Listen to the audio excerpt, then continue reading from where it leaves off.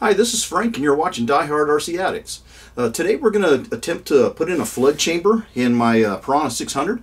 I've had this boat for quite a while, and I do like running it, but it does flip over a lot. So I'm hoping that by adding a flood chamber, it'll make it a little funner to run this boat.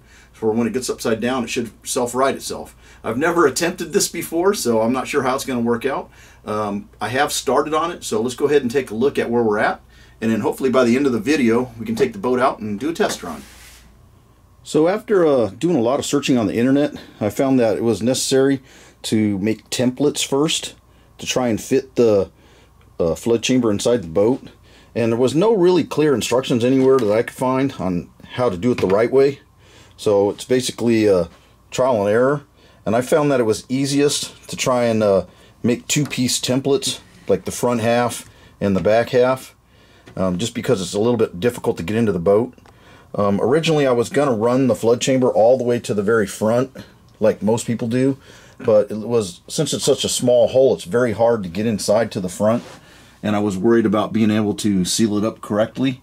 So instead, I made the flood chamber come up to here and then kind of go off at an angle to there so that I could at least reach to the front of it and make sure it gets sealed good.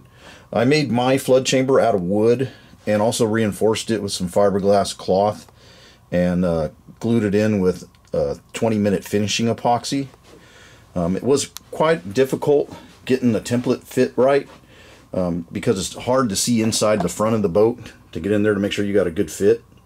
Um, after I got it all fit up, I found out it was easier to see the front if you actually cut the hole in the back of the boat first. So you can stick a flashlight in there to see inside. Um, I've already fitted this one and glued it all in. And yesterday I actually uh, tested it to make sure it was leak proof. I filled it full of water and none of the water leaked into the hole. So the chamber itself is pretty much done. Um, you can uh, make the chamber out of various different materials. A lot of people will make it out of fiberglass itself, but I didn't feel comfortable fabricating straight from fiberglass, so I made wood templates first and then uh, glued them in place and then put the fiberglass over it and epoxied it. And it seemed like it worked out pretty good. This hole was a little more difficult, I think, than some of the other ones because it has a lot of different contours to it. This is curved here, and then in the back, it's got like this weird little gap back there that you got to try and get into. If you have a straighter hole that doesn't have as many contours, I think it would be a lot easier to put the flood chamber in, and you'd probably be able to even get it to go all the way to the front. So now that I have the flood chamber in there and I tested it, it's time to actually put some vent holes in the hole for the water to come in. So on the top side, usually you want to put several holes in here so that when the boat is upside down, the water can get into the flood chamber quickly. And basically, when the boat is upside down, those holes will allow the water to enter and the hole in the back will act as a vent to let it out. I've also seen in some of the things I've looked at on the internet some people will put a small vent hole in the bottom of the hole too to let the air out so that more water can get in. So I may do that, but I think I'm going to try it first without the hole in the bottom. I'll just put the holes in the top. And I'm still working on the back side of it too. I'm probably going to put another hole up here to allow more water to come out and also to get in when it's upside down and when it takes off because this is the, where all the water is going to come out of after the boat gets moving. So I'm going to go ahead and uh, work on it a little bit more, get the holes drilled, and then we'll take another close look at it. One last thing before I work on it. Um, before you build the flood chamber, you want to find out how much water it needs to hold to flip the boat over. So from what I found, it's best before you tear the boat apart, put everything in it the way you would run it with before the flood chamber is in. Seal it up tight, and then you fill up the bathtub or something, or a big tub of water, and float the boat upside down and then you just add weight to the side that you're going to put the flood chamber on until the boat rolls over. Once you have the correct amount of weight that flips the boat over, weigh that weight on a scale and then you need to get the same amount of water volume as the weight of whatever the weights were that you had on there. So on mine I ended up I can't remember how much weight it was, but I it took a complete like drinking bottle of water was about perfect for it.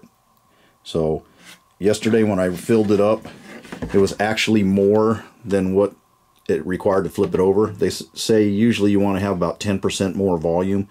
Um, it took about one and a third bottles of water and it originally it only took one bottle to flip it over so hopefully it's enough to make it work right all right so let me go ahead and get to work on the boat and I'll be right back okay here's the finished hull with all the holes drilled in it I decided to go with just a single line of holes down the side here um, some of them do vary a little bit in size just because of where they're at um, I've got the boat completely reassembled right now. All the parts are inside it, including the battery.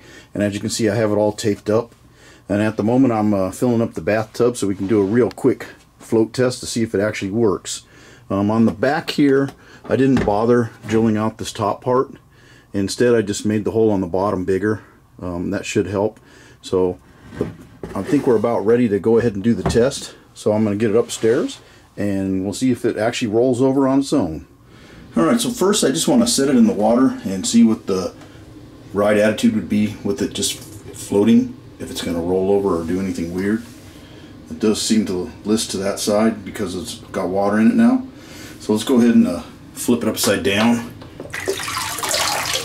Alright, let's see if this actually works. Keep your fingers crossed. It's filling full of water.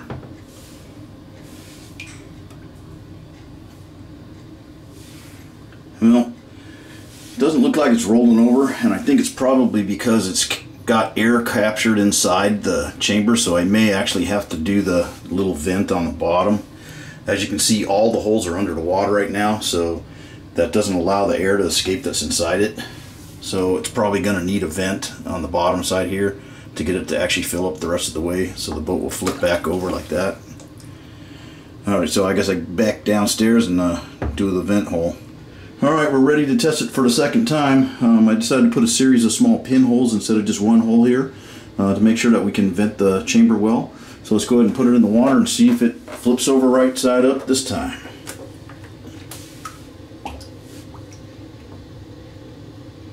Oh, there it is. Cool, man. Looks like it works. Alright, uh, this video is kind of getting long, so I think we're going to do the test run part in part two. So stay tuned. There'll be a second video coming real soon.